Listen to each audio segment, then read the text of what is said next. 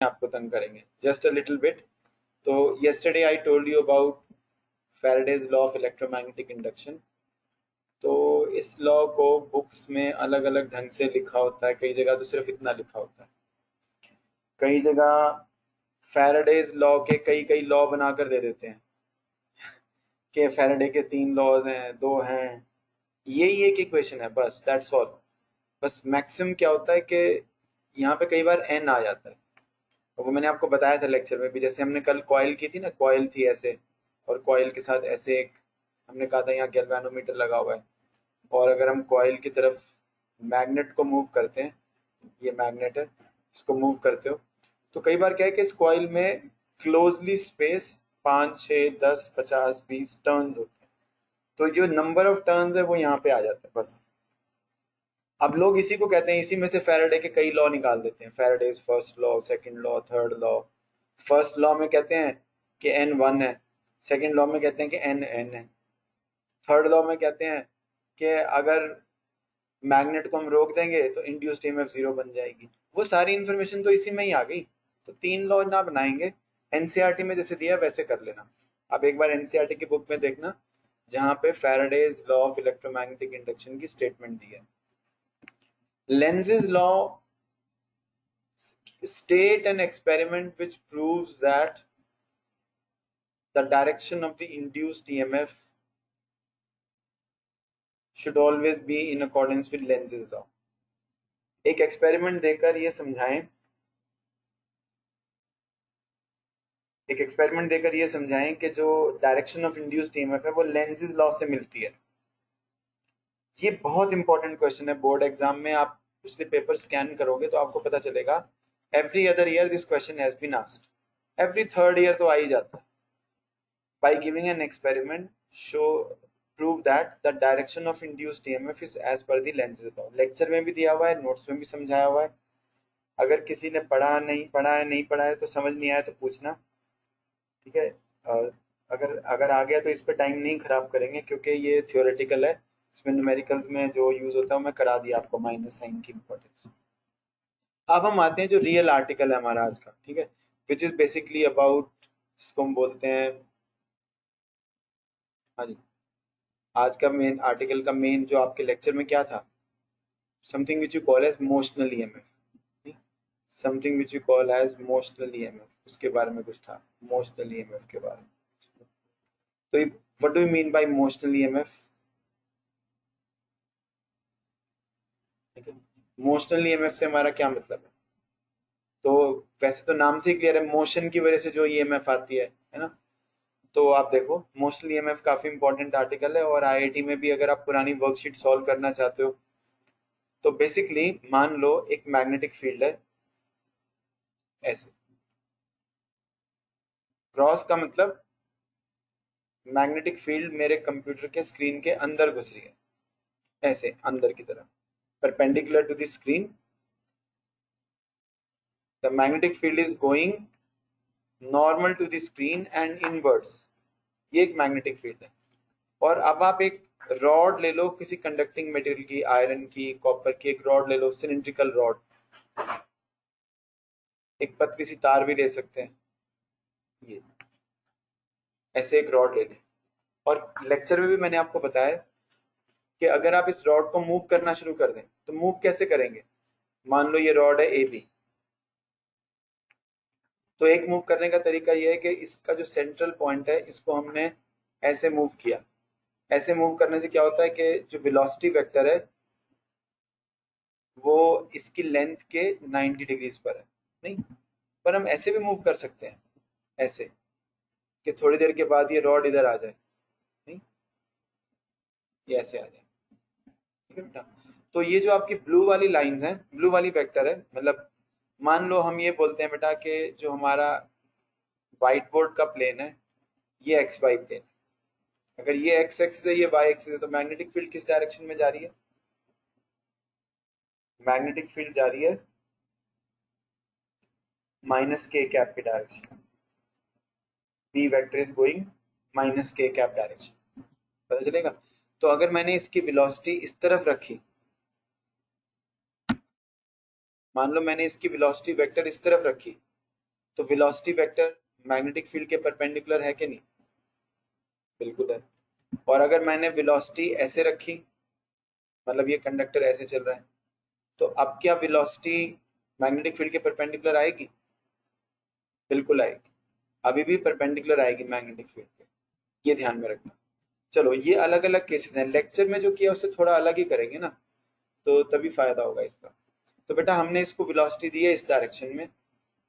तो हमने देखा कि इस वायर को जस्ट आप एक अपनी पेंसिल मान लो या पेन मान लो। पेन को रख लो आप अपने स्क्रीन के ऊपर लैपटॉप के या मोबाइल के। और इस पेन को हम आगे खिसका रहे हैं वेलोसिटी की डायरेक्शन में। पेन को आगे ले जा रहे हैं। तो जब आप पेन को आगे ले जाओगे तो क्या होगा? पेन के जो एंड्स हैं, इन दोनों पॉइंट्स के बीच में एक वोल्टेज क्रिएट हो जाती है। उसको हम मोशनल ईएमएफ बोलते हैं। We call that as motional EMF और वो वोल्टेज क्यों क्रिएट होती है? उसका पूरा मैकेनिज्म पूरा मेथड मैंने बताया आपको कि ये अगर आपका मेटालिक कंडक्टर है तो मेटालिक कंडक्टर्स में इलेक्ट्रॉन्स का बहुल्य होता है। Excess large quantity electrons are present in a large proportion in a metallic conductor blow up बना देते हैं इसका मेटालिक कंडक्टर का। Blow up means magnified many times ये आ गया। ठीक है? अब इसमें कैरेक्टरिस्टिक क्या है? कि मेटल के अंदर बहुत सारे इलेक्ट्रॉन्स हैं। और ये जो ब्लू वाली मैग्नेटिक फ़ील्ड है, ये इस इलेक्ट्रॉन पर काम कर रही है। मतलब magnetic field going into the plane of the board B vector अब इलेक्ट्रॉन में रैंडम थर्मल मोशन है। नहीं, मैंने लेक्चर में बताया होगा रैंडम थर्मल मोशन बट वो random thermal motion averages out to zero so the only velocity which is left with the electron is this velocity. जो कंडक्टर की वेलोसिटी है, वही हम इलेक्ट्रॉन की वेलोसिटी मानते हैं स्पेस में। मतलब अगर हम अर्थ फ्रेम में खड़े हैं तो इलेक्ट्रॉन की बाकी सारी वेलोसिटी तो कैंसिल आउट करके ज़ीरो बन गई, ये वेलोसिटी बची। ठीक है? So the only velocity we are left with this velocity in this direction अब इसकी वजह से क्या होगा? इसमें तो नंबर ऑफ़ इलेक्ट्रॉन्स बहुत ज़्यादा है ना मेटल्स में। तो हर इलेक्ट्रॉन के ऊपर फोर्स लगेगी। कितनी फोर्स लगेगी?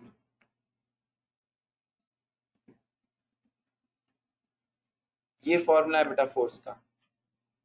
बी क्रॉस बी किस तरफ़ आएगा? पेन को लेफ़्ट हैंड में ट्रांसफ़र करो। राइट हैंड ऊपर उठाओ। बी से लेकर बी तक उंगलियों को घुमाएँगे तो अंगूठा किस तरफ़ जाएगा? बी से लेकर बी तक घुमाएँगे तो अंगूठा जाएगा आपका ए की तरफ़ एंड ए इस तरफ़ जाएगा। Thumb will point in this direction but वो v क्रॉस b की डायरेक्शन है। चार्ज कौन सा है यहाँ पे? माइनस ई माइनस मतलब नेगेटिव चार्ज तो जो फोर्स लगेगी वो v क्रॉस बी से उल्टी डायरेक्शन में, ये मैग्नेटिक फोर्स आएगी एक इलेक्ट्रॉन पर। ठीक है? और सारे इलेक्ट्रॉन्स नीचे की तरफ़ उनको धक्का मिल रहा है। They are being pushed down तो इनको ज़ोर से इस तरफ़ पुश किया जा रहा है सारे electrons as a result of which electron start getting collected on this face जब हम इस वायर को मूव करते हैं, जैसे ही आपने मोशन शुरू किया, बहुत सारे इलेक्ट्रॉन यहाँ आके इकट्ठा हो गए। पहले क्या था? ये सब इलेक्ट्रॉन्स यूनिफॉर्मली फैले हुए थे इसमें uniformly electrons were spread uniformly है नाउ यहाँ पे इलेक्ट्रॉन्स की कमी हो गई है। डेफिशिएंसी क्योंकि इलेक्ट्रॉन्स यहाँ से पुश होकर नीचे आ गए। ठीक है? तो यहाँ पे पॉजिटिव इंड्यूस्ड चार्ज आ गया। इलेक्ट्रॉन्स की डेफिशिएंसी हो गई। ठीक है? अब what does this mean this means के चार्ज सेपरेशन हो गई इस मेटालिक रॉड में। इस सिलेंडर में चार्ज सेपरेशन हो गई। charge separation is created ठीक है? Because of this charge separation what happens is इसके अंदर इलेक्ट्रिक फ़ील्ड बन जाती है। मतलब आपने तो कंडक्टर को मैग्नेटिक फ़ील्ड में मूव किया था। आपने तो कंडक्टर को मैग्नेटिक फ़ील्ड में मूव किया था। लेकिन मोशन की वजह से कंडक्टर के अंदर इलेक्ट्रिक फ़ील्ड क्रिएट हो गई। और मैंने ये इलेक्ट्रिक फ़ील्ड की डायरेक्शन ये दिखा रहा हूँ। ये इलेक्ट्रिक फ़ील्ड की डायरेक्शन ये इलेक्ट्रिक फ़ील्ड की डायरेक्शन क्यों आप समझ पाएँगे? बिकॉज़ अगर हम यहाँ पे एक इलेक्ट्रॉन को इमेजिन करें तो उस इलेक्ट्रॉन पर इस डायरेक्शन में फोर्स लग रही है।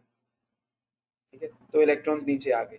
लेकिन अगर आप यहाँ एक पॉजिटिव चार्ज को इमेजिन करोगे तो पॉजिटिव चार्ज पर किस तरफ़ फोर्स लगेगी? पॉजिटिव चार्ज नीचे की तरफ़ अट्रैक्ट होगा। तो वही जिस जिस डायरेक्शन में पॉजिटिव चार्ज पर फोर्स लगती है, उसी डायरेक्शन में इलेक्ट्रिक फ़ील्ड होती है। तो electric field in this direction is created inside the conductor अब आप कहोगे मेटल्स के अंदर तो इलेक्ट्रिक फ़ील्ड क्रिएट नहीं हो सकती। वो तो इलेक्ट्रोस्टैटिक सिचुएशन थी ना यहाँ तो electrodynamic situation but we are doing now here is electrodynamics moving charges moving objects पहले हम इलेक्ट्रोस्टैटिक्स पढ़ रहे थे। तो ये यहाँ पे अगर हम मान इमेजिन हम ये कल्पना कर लेते हैं कि अंदर जो इलेक्ट्रिक फ़ील्ड है, वो एक यूनिफॉर्म इलेक्ट्रिक फ़ील्ड है। तो अब आपको मालूम है यूनिफॉर्म इलेक्ट्रिक फ़ील्ड में अगर हम इलेक्ट्रिक फ़ील्ड की वैल्यू को लेंथ से इससे इस डिस्टेंस से अगर मैं ई e को एल से मल्टीप्लाई कर दूँ तो हमें वोल्टेज या पोटेंशियल डिफरेंस मिलेगा। कौन सा पॉइंट हायर पोटेंशियल पर है?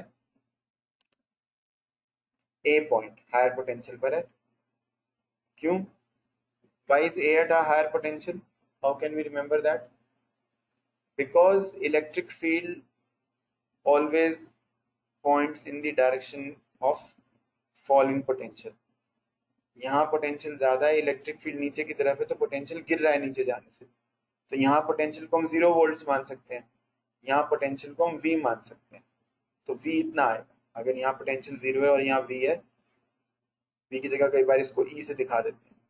तो ये ई इंटू एल अब क्वेश्चन ये है कि e कितना होगा? नहीं? तो यहाँ पर इलेक्ट्रॉन्स कब तक इकट्ठे होते रहेंगे? नीचे इलेक्ट्रॉन नीचे वाले फेस पर बी पर इलेक्ट्रॉन्स कब तक इकट्ठा होते रहेंगे? देखो नीचे इलेक्ट्रॉन तब तक जाएगा जब जब तक इलेक्ट्रिक फ़ील्ड की वजह से। इसके ऊपर देखो जब यहाँ इलेक्ट्रिक फ़ील्ड बन जाएगी ई e, तो इलेक्ट्रिक फ़ील्ड भी इस इलेक्ट्रॉन पे फोर्स लगाएगी। E times E Q times E जब ये दोनों फोर्सेस बैलेंस हो गई हैं, इस फोर्स का मैग्नीट्यूड कितना आएगा? इस फॉर्मूले से देखो। इस फोर्स का मैग्नीट्यूड आ जाएगा E into V into B क्योंकि V और B परपेंडिकुलर है। E into V into B और दूसरी तरफ़ है ई इंटू ई तो ये ई e कैंसिल हो गया। तो ये तो ई e आया। अब वोल्टेज कितनी आएगी? वोल्टेज आएगी ई इंटू एल तो ये B into B into L ये था मोशनल ईएमएफ का ये formula this the formula for motional EMF ये एक वायर को मूव करने से वोल्टेज कितनी आई?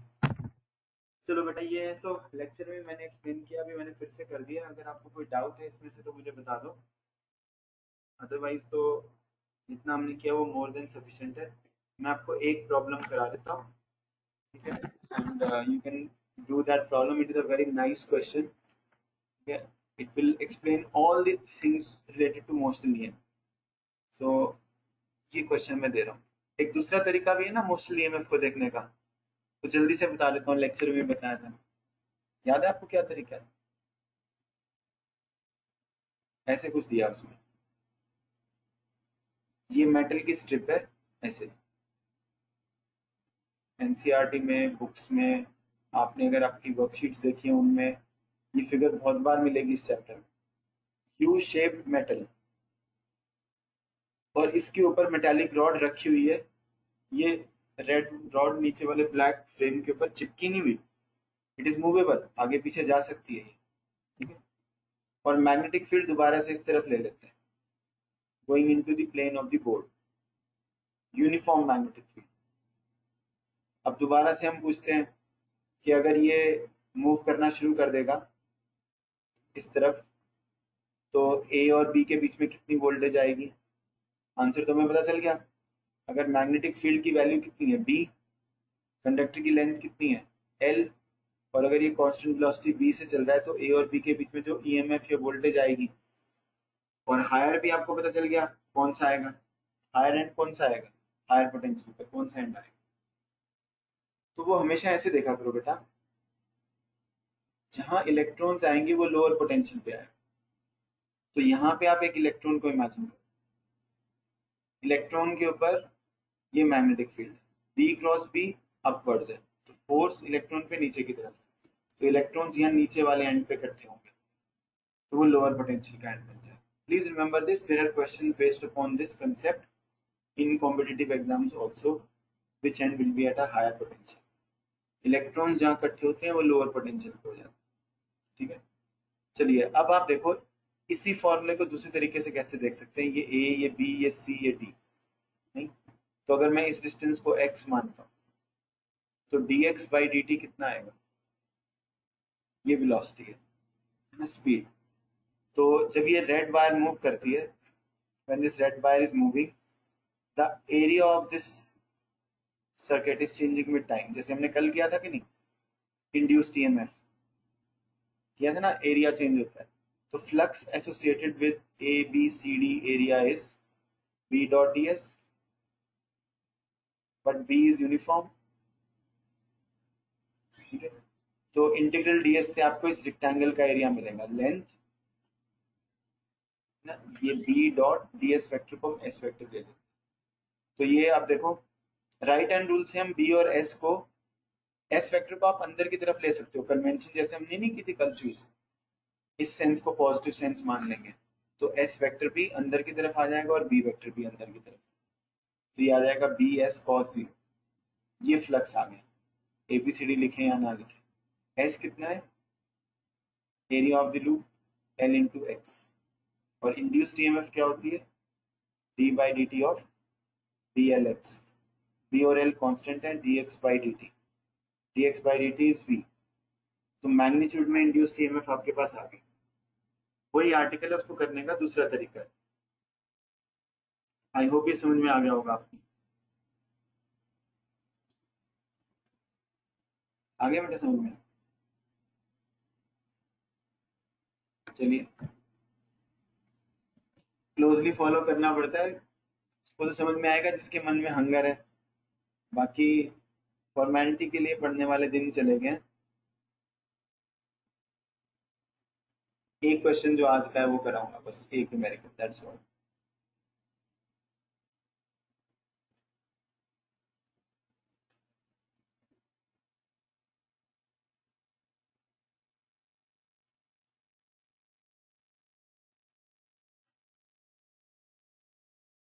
ये तो सोल्यूशन फिगर है इसकी जरूरत नहीं है हम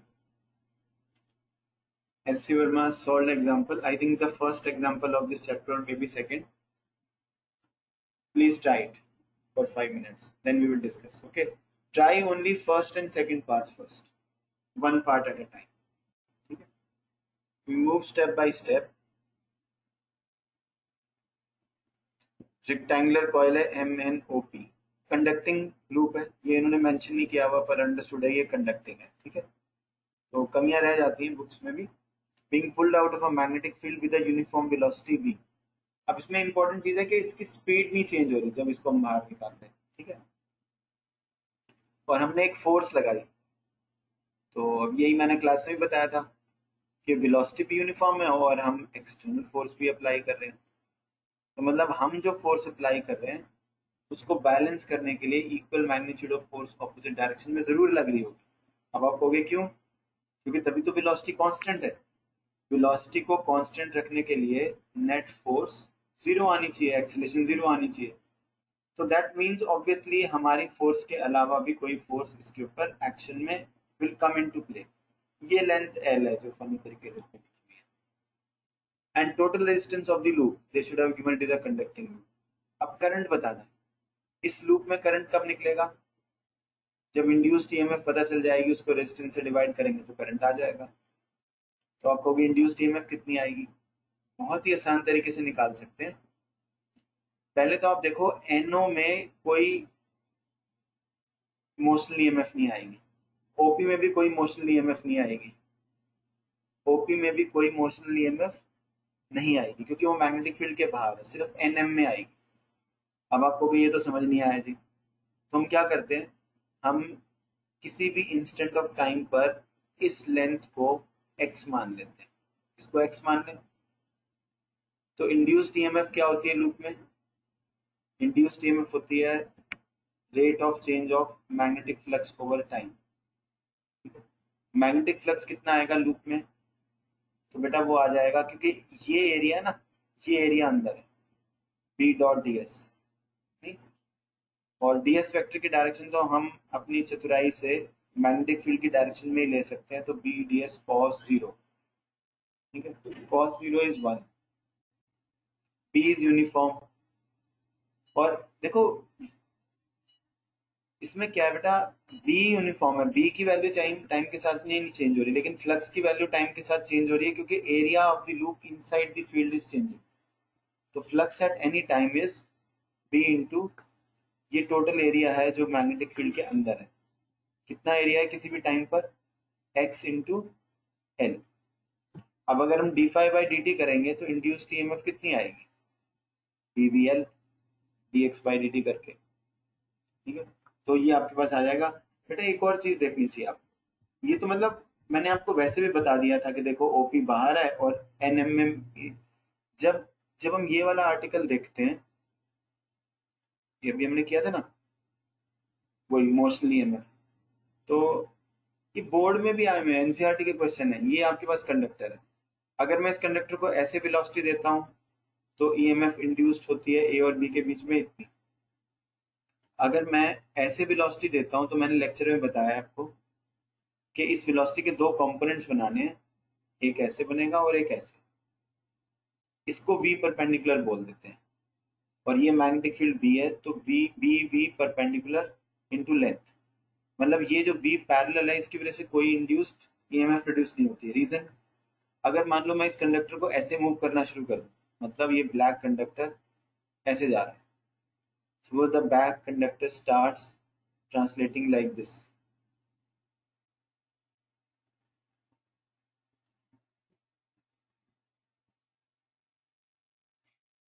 चलो। ठीक है, अगर ये ब्लैक कंडक्टर ऐसे ट्रांसलेट करना शुरू कर दे, ऐसे ऐसे तो इंड्यूस्ड ईएमएफ क्यों नहीं आएगी? ऐसे मूव कर रहा है। वेलोसिटी इसकी ये ब्लू वाली वेक्टर देखो ब्लू वेक्टर की डायरेक्शन में जा रहा है। तो क्यों नहीं इंड्यूस्ड ईएमएफ आएगी? तो मैंने बताया था आपको, अगर मैं इसको मैग्नीफाई करके देखूँ ऐसे तो इसकी थिकनेस जो है ये डी एक्स है, बहुत कम। ये जो है ना, ये यहाँ से यहाँ तक डायमीटर चाहे इसको D R D D diameter मान लो, कुछ भी मतलब ये बहुत ही कम वैल्यू है। तो इस कम वैल्यू से क्या होता है? देखना यहाँ पे जो इलेक्ट्रॉन है, जो इलेक्ट्रॉन यहाँ पर है, यहाँ पे जो इलेक्ट्रॉन है, उसकी वेलोसिटी ऐसे मैग्नेटिक फ़ील्ड अंदर की तरफ़।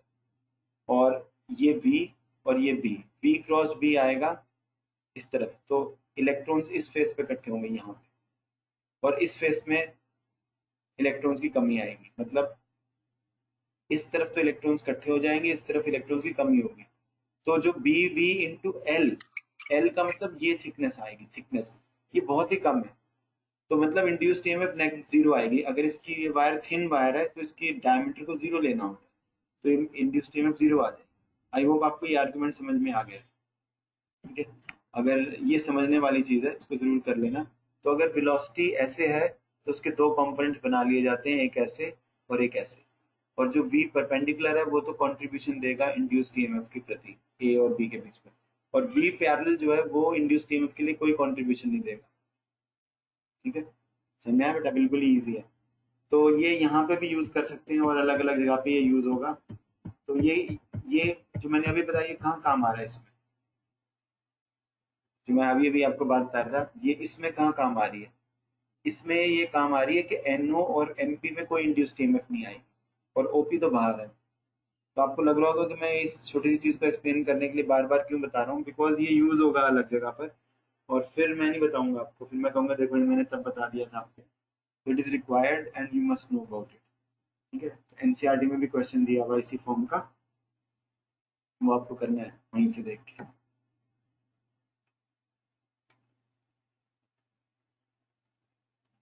चलिए बेटा करंट तो आ ही जाएगा, है ना? ये बी वी एल ये तो कुछ भी नहीं है। है ना? करंट की वैल्यू आ गई आपके पास B V L upon R magnetic force कितनी लग रही है लूप पर? अब करंट चल रहा किस तरफ़ है? लॉजिकली देखो जाए तो इस तरफ़ वाली मैग्नेटिक फ़ील्ड कम हो रही है। तो करंट ऐसे चलेगा। जब लूप लूप के बाहर जाने की वजह से कौन सी तरफ़ मैग्नेटिक फ़ील्ड कम हो रही है? अंदर की तरफ़। तो करंट को ऐसे चलना चाहिए कि मैग्नेटिक फ़ील्ड उसी तरफ़ आए। ये करंट की फ्लो की डायरेक्शन आएगी। मैग्नेटिक फोर्स कितनी लगेगी लूप पर? ओपी पे तो कोई नहीं लगेगी मैग्नेटिक फोर्स ठीक है? इसमें से करंट चल रहा है इस तरफ़। इस तरफ़। और मैग्नेटिक फ़ील्ड इस तरफ़। तो फोर्स का फॉर्मूला होता है I L vector cross B नहीं? तो आई एल क्रॉस बी किस तरफ़ आएगा? I L cross B right hand rule से ऊपर की तरफ़ आएगा। नीचे वाले कंडक्टर में फोर्स नीचे की तरफ़ आएगी। ऑपोजिट कंडक्टर्स की फोर्स आपस में कैंसिल हो जाएँगे। बचेगा सिर्फ़ एन एम एन एम में मैग्नेटिक फ़ील्ड ऐसे है करंट ऐसे है। तो राइट हैंड रूल लगाओ I L cross B force आएगी इस तरफ़। कितनी आएगी? Force due to magnetic field I L cross B क्योंकि 90 डिग्रीज पर है तो आई एल क्रॉस बी का मैग्नीट्यूड आई एल बी हो गया। ठीक है? ये तो फोर्स होगी। आई की वैल्यू पुट करो। बी स्क्वेयर यहाँ से। L square V upon R ये magnetic force magnetic force external force required to maintain the velocity जो मैग्नेटिक फोर्स है, उतनी एक्सटर्नल फोर्स की ज़रूरत होगी। मतलब ये जो कैपिटल एफ़ है, ये कितना होना चाहिए? ये इतना ही होना चाहिए। जितनी ये इंटरनल फोर्स है मैग्नेटिक फ़ील्ड की force power delivered by the external force. Power delivered का मतलब ये बेटा देखो। पावर का फॉर्मूला होता है एफ़ डॉट वी ठीक है? तो एफ़ की वैल्यू तो हमें पता चल गई। तो वी आ जाएगा ये। ये आ जाएगी power delivered by the external force. Power का मतलब इसको कितना वर्क करना पड़ रहा है पर यूनिट टाइम एनर्जी खर्च कर रही है कि नहीं है? फोर्स लगेगी और डिस्प्लेसमेंट आएगी तो वर्क तो होगा एनर्जी खर्च करनी पड़ेगी। तो पर सेकंड कितनी वर्क कर रहा है? पर सेकंड एक्सटर्नल फोर्स कितनी एनर्जी खर्च कर रहा है? B square L square V square by R क्योंकि ये एफ़ की वैल्यू हम इसको वी से मल्टीप्लाई कर देंगे। दोनों सेम डायरेक्शन में ना एफ़ पी और वी भी वेलोसिटी भी उस तरफ़ है। नहीं कांस्टेंट वेलोसिटी है ना, cos ज़ीरो अब thermal power developed in the loop का मतलब ये है कि जो करंट फ्लो कर रहा है उसकी वजह से प्रति सेकंड कितनी एनर्जी उसमें हीट की फॉर्म में डेवलप हो रही है। थर्मल पावर का फॉर्मूला होता है आई स्क्वायर आर टेन से आपने किया लेकिन आई कितना आया ये? इसका स्क्वायर करना। और आर से मल्टीप्लाई करोगे तो ये थर्मल पावर है। एक्सटर्नल एजेंट ने जो पर सेकेंड एनर्जी खर्च की, और जो थर्मल पावर आ रही है, वो दोनों सेम आ रही है। मतलब क्या है? कि एक्सटर्नल एजेंट जितनी भी पर सेकेंड एनर्जी स्पेंड कर रहा है, इस लूप को बाहर पुल देखो, इसको लूप को बाहर पुल आउट करने में एफर्ट लगाना पड़ रहा है, क्योंकि अंदर की तरफ़ फोर्स लग रही है। It is pulling out at that effort ज़ोर से खींचना पड़ रहा है, नहीं? तो उसमें इसको वर्क करना पड़ रहा है। तो जितना ये वर्क कर रहा है, वो पूरा का पूरा इसके अंदर हीट की फॉर्म में कन्वर्ट हो गया। Whatever is work done by the external agent it is dissipated as heat or it is spent as heat in the loop. The work done by the external agent per second is exactly dissipated as heat in the loop. तो ये मेरे ख्याल से बहुत अच्छी problem है ठीक है इस प्रकार की